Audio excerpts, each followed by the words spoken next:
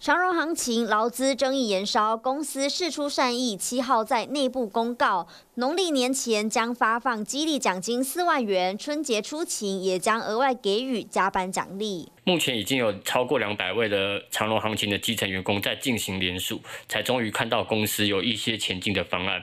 但其实先前劳资双方才因为年终补发问题引爆冲突。我想问一下，过年前会补发年终吗？这应该是大家想要听到的新闻吧。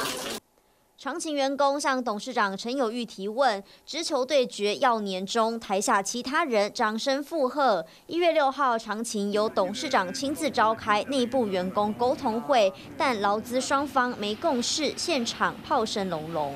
还有我们，飞机可以出去吗？对不对？做他会自己看飞机吗？你发一个月。也太难看了。不可能说，我为了这个问题，然后我去借钱来发发给大家，那那我公司还要不要营运？陈友玉解释，疫情期间长荣航空靠货机赚钱，但对长荣行情收入没帮助，因为行情少了装卸、清仓、洗衣、免税品等各种收入，这些都是客机才会有，只代理货机就没有装卸以外的其他收入。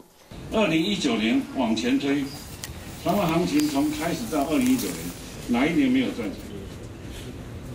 是不是？就是这三年的疫情搞得我们这个整个这个营业收入是真的是没办法，这真的是赤字。